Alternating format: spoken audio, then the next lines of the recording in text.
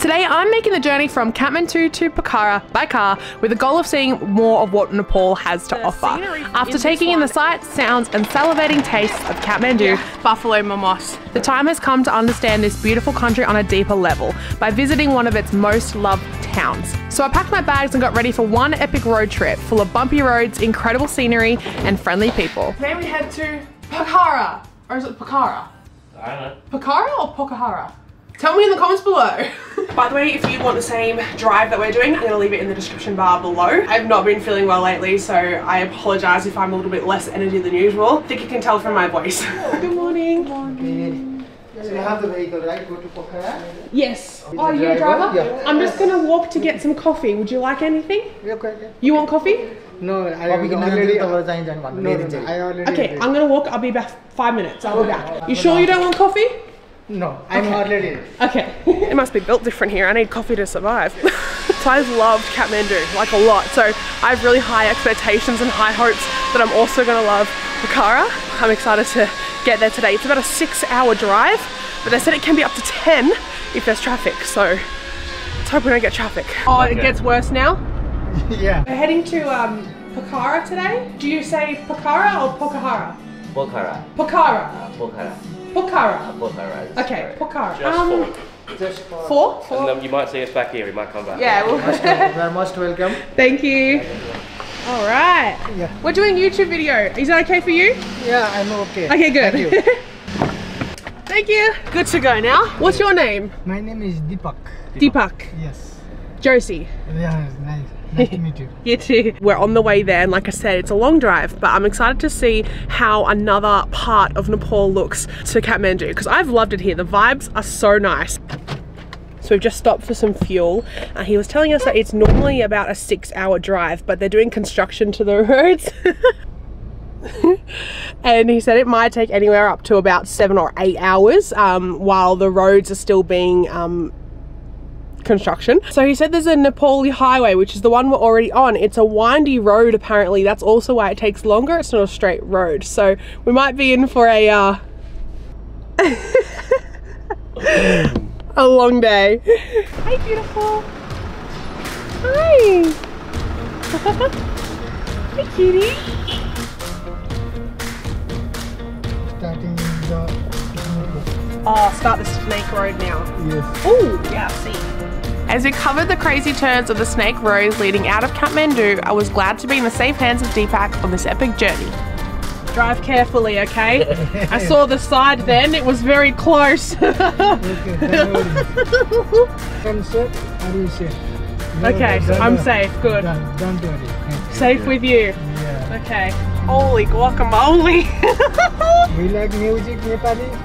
yeah, you can put music on.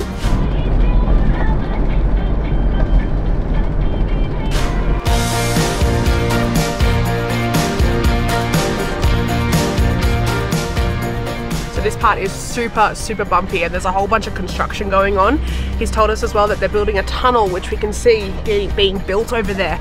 Um, so you can go underground in the future to Nepal, which will be really cool, but to, oh, to Kathmandu. but right now, the roads are bumpy. The roads are basically rocks at this point. So it's a very bumpy drive. We got stopped. License and registration, please.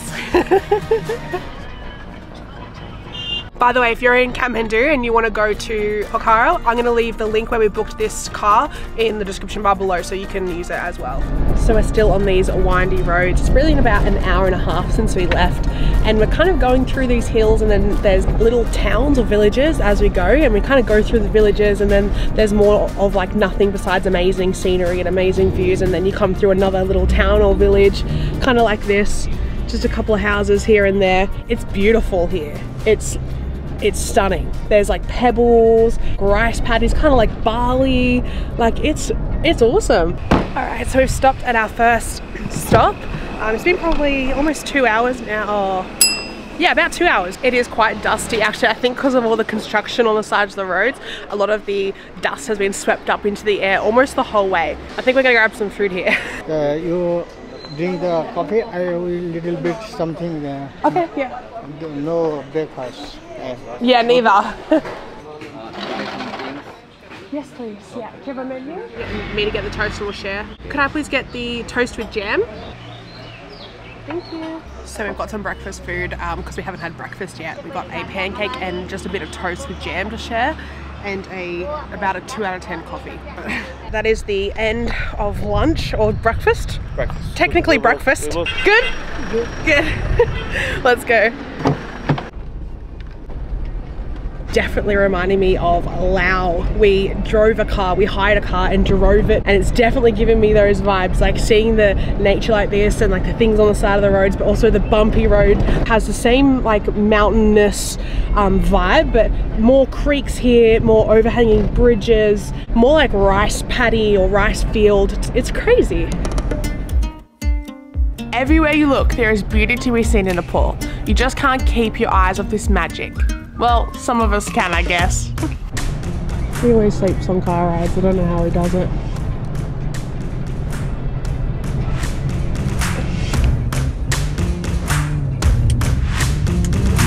Oh, a ra- raft, Yeah, like river rafting fast, river? yeah. Yeah, yes. Very famous in the world. What's it called? Trisuli River. Trisuri River. Kinda. It come, come from, this is a Langtang range. Okay. Coming up to a bridge now. We haven't actually gone over many of them yet. It's like a one one way thing, so you have to like wait for the other cars to pass through. But wow.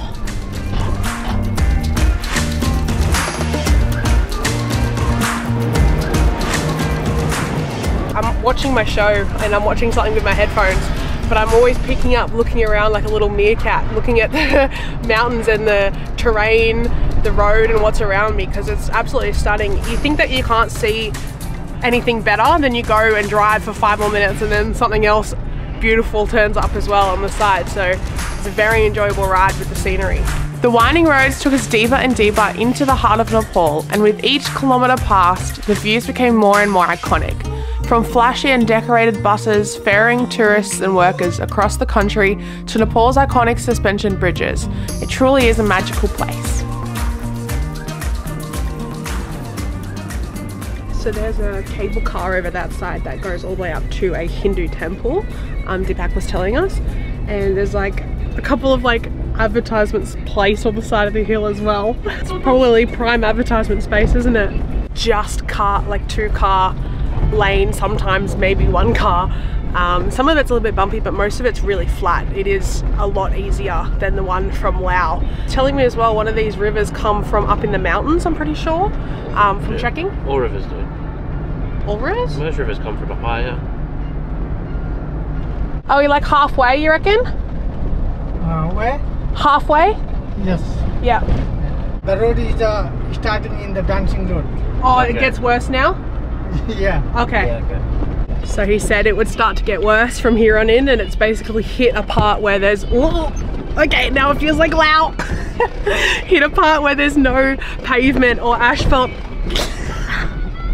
Um, and now it's just basically a dirt road. There's actually so much dust kicked up in the air from all of the people in front of us that sometimes you can't even really even see. I'm trusting this man with my life. I reckon the second half is going to take even longer. It's um, one o'clock almost in the afternoon, which means we've been going for about four hours. Oh, my bad. Hit the camera.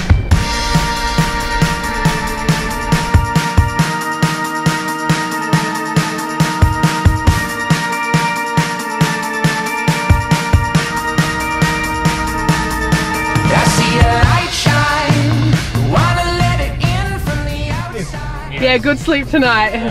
For you too. Got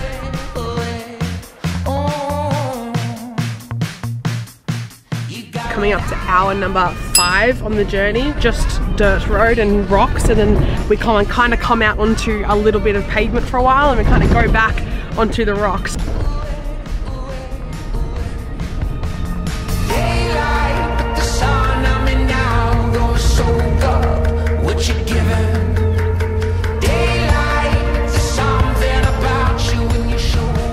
coming up on the i think six hour mark now of being in the car the roads are still rocky and not paved and we're still bumping around like a martini in a glass but um, we are closing in on Pokhara. If you haven't seen Kathmandu before, if you're interested in seeing Kathmandu, I'm going to leave my video from Kathmandu on the screen so you can watch that as well or down below. I'm excited. Obviously the next video is going to be in Pokhara so if you want to see another, another part of Nepal as well, make sure you subscribe to see the next video so roughly six and a half hours to almost maybe seven hours and we're about six kilometers from Pokhara. Yeah. Since we're so close to Pokhara now, we're just trying to find our hotel so we can get dropped there. Yes, step number? Now starting in the Pokhara. Now we're in the Pokhara. From, to. Woo! Okay, lady. Okay, we are here. Oh my I didn't realize how dirty the car was and look what I just got. I just got this on my. I didn't realize how dirty the car was. look at all the dirt. Thank you. Yeah. Thank you. Oh my goodness. all right, thank you so much. You're driving back now? Yes. Okay, good luck. Safe drive. So he has to drive back to Kathmandu now. Yeah. He said he's going back. Wow. Yeah. Look, if you're needing to do that drive, definitely book his tour. We'll put the thing in the description for you. Because he deserves that. Reception two. Michael, yes. Michael. Sorry. It's okay. Uh, okay, so it's four o'clock in the afternoon, which means it took about seven hours. 8.30 to 9, Yes. 10, 11, 12, 1, 2, 3, 4, about seven and a bit hours. Apparently that's good time.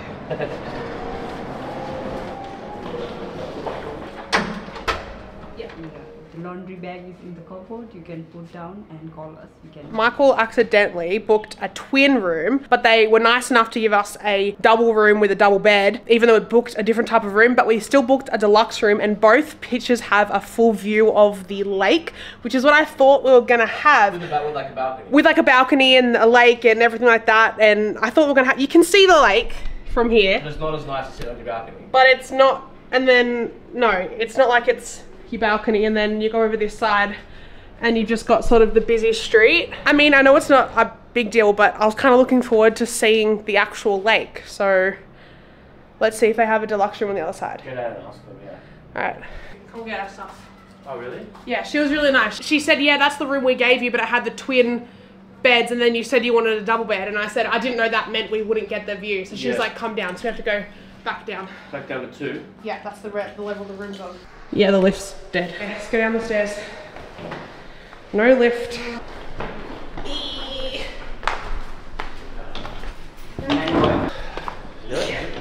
Yeah. Thank you.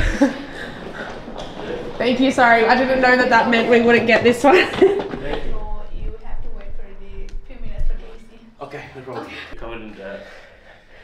Feels like I'm covered in dirt. In dirt. So now we have a twin room, but we have a view of the lake.